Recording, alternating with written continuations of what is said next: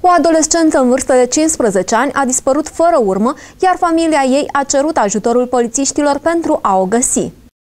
Maria Silvia Rostaș a plecat de acasă din municipiul Suceava pe 12 noiembrie, iar de atunci nimeni nu mai știe nimic de ea. Fata are o înălțime de 1,70-1,75 m, constituție atletică, față ovală, ten deschis, nas cârn, păr lung, până la nivelul omoplaților, despletit, drept, de culoare șaten închis, ochi căprui, buze groase. La data dispariției era îmbrăcată cu o geacă din piele de culoare neagră și era încălțată cu ghete de culoare albastru închis, cu talpă înaltă din cauciuc suc de culoare maro deschis. În cazul în care dețineți date cu privire la persoana în cauză, vă rugăm să apelați poliția prin 112 sau să sunați la 116000, număr telefonic special pentru copiii dispăruți, se arată într-un comunicat al poliției.